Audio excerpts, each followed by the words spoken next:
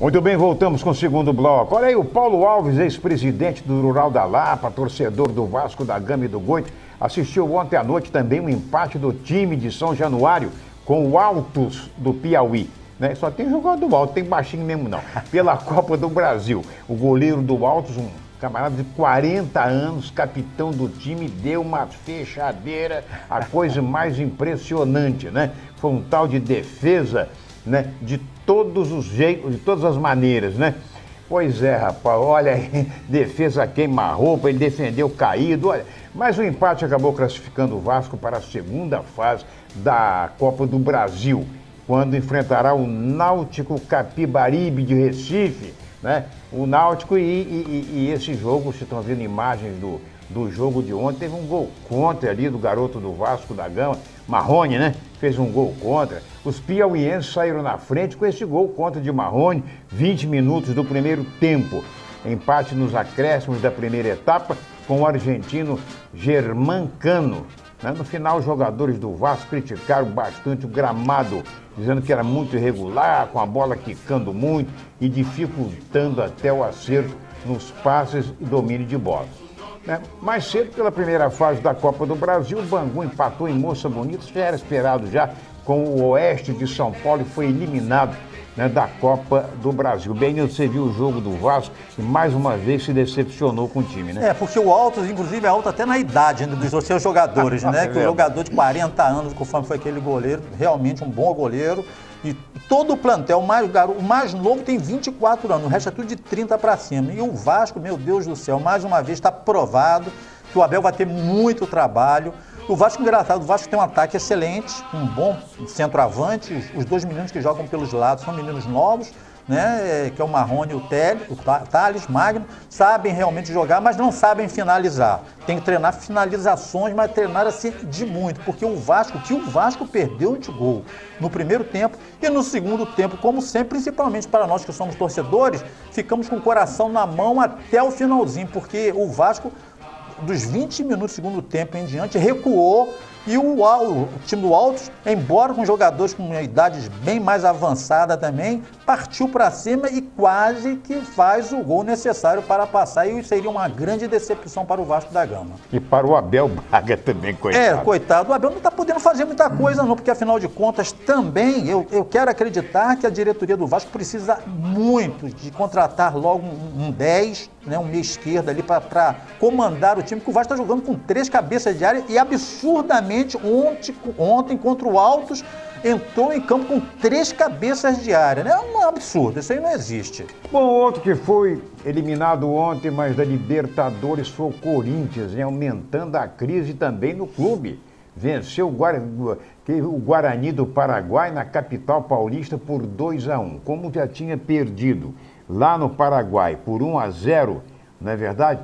E sofreu um gol em casa, não fez nenhum fora de casa, é o regulamento da Libertadores, então está fora, né? No seu primeiro confronto de mata-mata, o Corinthians está fora, né? Olha, o Botafogo com tempo bastante até para treinar né, para a Taça Rio, que é o segundo turno do campeonato do campeonato carioca, ele vai intensificar os treinamentos. Confirmação de Paulo Altuori na direção técnica acabou sendo uma solução caseira já que ele desempenha a função de coordenador de futebol. O último ano que o Botafogo foi campeão brasileiro foi em 1995 e o treinador era Paulo Tuori. Agora, tem gente já dizendo que ele está usado demais, está velho demais, preocupado. O que, que, você acha? Não, eu acho que não. Acho que Paulo Tuori, ele é um grande treinador. Agora, tem que, o Paulo Tuori, ele é o seguinte, ele tem que ter condição de trabalho, porque é, é, sabido e todos nós já vimos aí, a partir do momento que ele perceba que, o, o, o, por exemplo, o salário do jogador está atrasado ou acontece algum tipo de problema, ele joga a toalha. Ele sempre foi assim, ele não é aquele tipo de treinador que se o clube ou se o time vai para o fundo, ele vai junto, não. Ele realmente ele é esse tipo de treinador. Muito bom treinador, mas tem esse lado também. realmente, a última vez que o Botafogo foi campeão brasileiro foi nas mãos dele, ele ainda estava bem jovem, mas eu quero acreditar que ele seja um grande treinador. Tem que dar a ele condição de trabalho. Agora, vai ter que treinar muito, porque, por incrível que pareça, o que eu vi do jogo do Botafogo contra o Sub-20 do Vasco eu, eu fiquei até alegre em relação a ser vascaíno, porque eu imaginava que o Vasco era o pior time do Rio, mas já vi que não. O Botafogo realmente vai correr grande risco no Campeonato Nacional de cair, porque se continuar jogando essa bola horrorosa que está jogando aí. Pois é, o Paulo Autori foi técnico do, Bota, do, do, do Botafogo há 25 anos, né? Mas ontem os alvinegros treinaram, mesmo com um tempo bastante instável no Rio de Janeiro. Vamos ver o VT.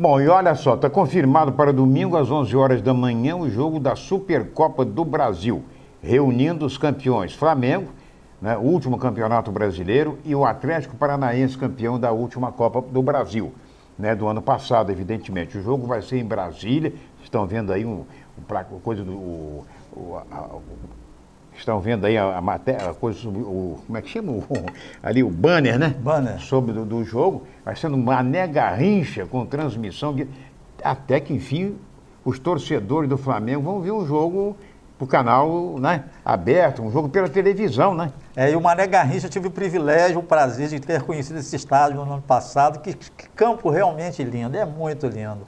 Vale a pena sim. Agora, mais uma vez, é, quero acreditar que é mais um título para o Flamengo, porque no momento, no momento, quando o Flamengo foi derrotado pelo Atlético na Copa do Brasil do ano passado, né, ah, é, foi uma surpresa. O Flamengo hoje, na verdade, é o melhor time do Brasil, não tem a menor dúvida disso. Depois vem, vem o, o Palmeiras, naturalmente. Mas eu quero acreditar que o Flamengo vai passar por esse jogo aí tranquilo. É mais um título para a Gávea e mais um sofrimento para nós vascaínos. no último bloco nós vamos ter mais tempo para falar, inclusive, sobre o que aprontou né, a Federação de Futebol do Rio de Janeiro e que foi anunciado na noite de ontem. Aguardem aí para vocês tomarem conhecimento e saberem o que realmente está acontecendo, tá? Segura aí, é pai bola.